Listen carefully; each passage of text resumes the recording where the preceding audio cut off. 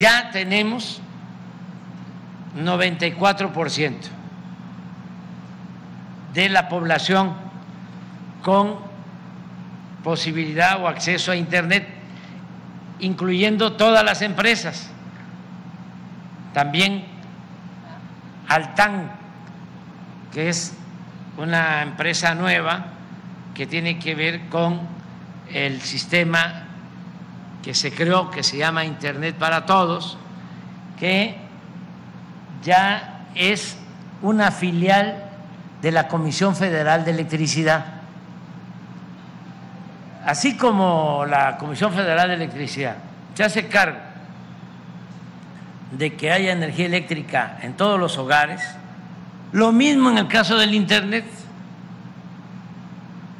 Donde hay Internet, pues en las ciudades sale uno de un pueblo y ya no hay ni siquiera telefonía celular. Entonces, cuando llegamos, dijimos, vamos a que llegue el Internet a todos los pueblos. Y eh, los técnicos nuestros por eso le estoy mandando el saludo este, y el recordatorio a Emiliano Calderón, pues pensaban yo mismo de que era relativamente fácil y no nos ha faltado el presupuesto. Tenemos presupuesto y estamos trabajando pero nos ha resultado más complicado de lo que imaginábamos. Nos dicen fibra óptica, pues sí, pero alumbrar la fibra óptica lleva su tiempo, que es lo que estamos haciendo. Antenas, ¿saben cuántas estamos levantando en todo el país? 12 mil antenas con el apoyo de la Comisión Federal de Electricidad.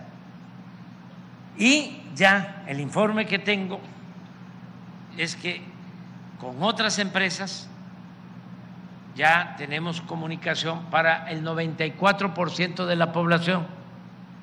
Sin embargo, por eso dije que era en teoría, en los hechos, todavía, como yo ando recorriendo el país, este, puede ser que haya telefonía celular en una cabecera municipal, pero apenas sale uno de la cabecera municipal, ya no hay nada. Seguimos como antes en algunas partes, subiéndonos a las lomas para encontrar la ansiada señal. Entonces, esa es una asignatura pendiente, pero yo espero, porque Estamos en eso y somos perseverantes de que antes de terminar vamos a tener ya un sistema de Internet que es fundamental eh, para las comunicaciones en el país.